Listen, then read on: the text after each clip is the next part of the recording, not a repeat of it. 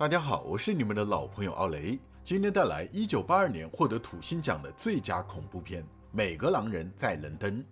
杰克与大卫是一对热爱旅行的好哥们。某天，二人搭乘顺风车来到了英国境内，司机因为不再顺路而与他们分道扬镳。临别前，司机叮嘱二人一定要靠着路边走，离旷野远一点。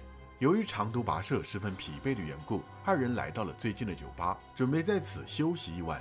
可没想到，这间酒吧竟然不提供任何食物，并且墙上也画满了各类奇怪的符号，显得异常怪异。杰克看了一会儿后，猛然想起，墙上的符号是用来驱逐狼人的。难道传说中的狼人一直在这一带活动？为了确认这点，杰克装作不知情的样子，向周围的顾客问起了这些符号的意义。问完后，酒吧顿时陷入了死寂。顾客们死死地盯着杰克与大卫，感觉就好像二人违反了什么禁忌似的。随后，众人还向他俩下达了逐客令。酒吧老板娘本想留住二人，但最终还是被顾客阻止。无奈之下，老板娘只好提醒他们一定要走马路，不要走荒野。这与之前司机的提醒如出一辙。大卫本就不想待在酒吧，因为酒吧里的一切都让他感到莫名其妙，因此老板娘的忠告直接被他抛之脑后。此时，天上突然下起小雨。没过多久，两人便听到了奇怪的叫声，并隐约看到了狼形生物。还没等他们离开，这些狼形生物就先一步杀向了他们。原来这里真的有狼人，狼人的战斗力太强，杰克很快就被狼人杀害。大卫挣扎了一阵后，也被狼人一爪扑倒。关键时刻，酒吧里的一众顾客及时赶到，用枪干掉了狼人。大卫因此捡回条命。大卫清醒后，却发现自己躺在医院的病床上。医生赫奇告知大卫：“你和你的同伴刚才被疯子袭击，同伴因为受伤过重不幸去世。”大卫听后疑惑不已，因为他清楚地记得之前在昏迷前看到的明明是一只狼人，怎么眼前的赫奇却说袭击他的是疯子？大卫本想向赫奇解释清楚，但无奈赫奇根本就不相信他说的话，只当他是精神受创，从而产生了幻觉。随后，警察找到大卫，说疯子的尸体已经被找到。如果大卫有什么不清楚的话，可以问问之前在场的目击者。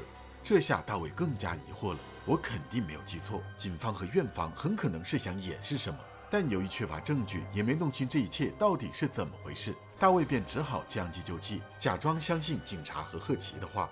在疗伤休养的这段时间里，大卫频频做梦，梦到自己光着身子在树林里奔跑，似乎是在寻找猎物。找到猎物后，大卫竟然直接将猎物生吃，甚至之后还变成了狼人。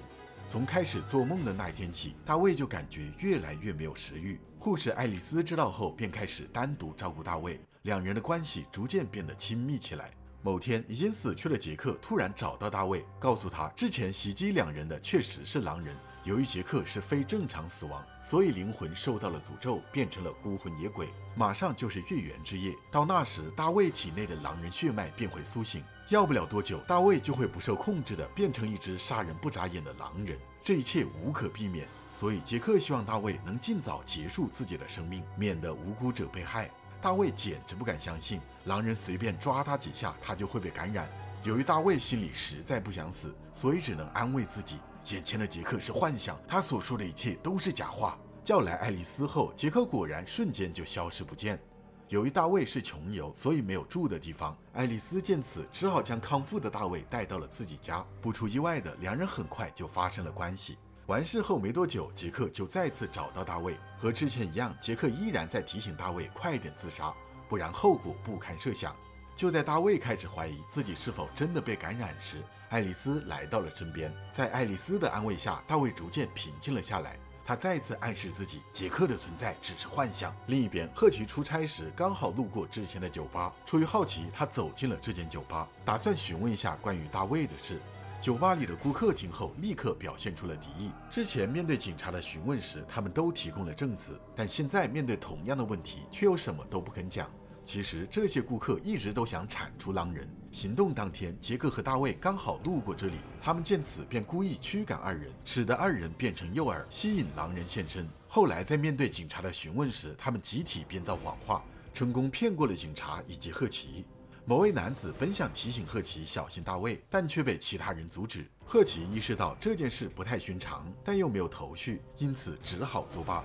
今晚爱丽丝要上夜班，因此家里只剩下大卫。大卫正在百无聊赖之际，忽然发现自己的身体出现了异样。原来杰克说的都是实话，大卫确实受到了狼人的感染。在经历过一阵巨大的痛苦后，大卫终于变成了一只残暴的狼人。很快就有一位无辜群众死在了他的攻击下。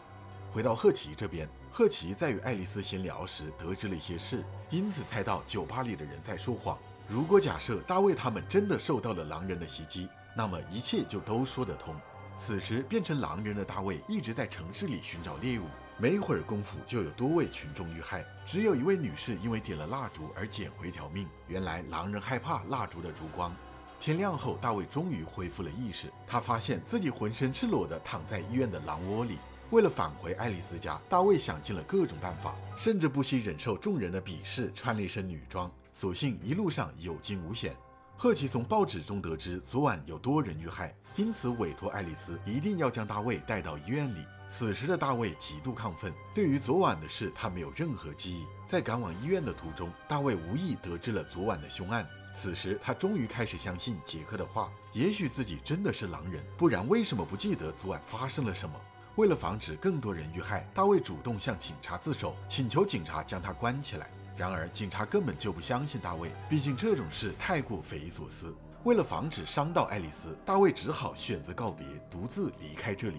赫奇医生知道后，立刻请求警方寻找大卫。为了使警方重视起来，他还明示了大卫狼人的身份。不过，警方依旧不肯相信这些，随便敷衍了两句，就当这事已经过去。绝望中的大卫本想自我了断，但又下不去手。此时，杰克再次出现，将大卫引到了电影院里。原来大卫昨晚杀死的人已经全部变成了行尸。如果大卫还要考虑，那么受害者还会继续增加。几人请求大卫一定要鼓起勇气。为了让大卫克服心理障碍，他们还探讨起了大卫的死法，因此忽略了时间。月圆后，大卫不受控制的再次变成为狼人，开始在电影院里疯狂屠杀。普通人完全不是大卫的对手，警卫也好不到哪去。很快，大卫就突破封锁，冲到了大街上，在大街上再次展开屠杀。幸好警察及时赶到，将大卫逼进了死角。爱丽丝听到大卫的消息后，急忙赶了过来。她本想通过爱情的力量唤醒大卫的理智，但无奈大卫听后依旧无法控制自己。警察为了保护爱丽丝和街上的群众，只好将陷入疯狂的大卫射杀。今天的电影就到这里，我是奥雷，咱们下次见。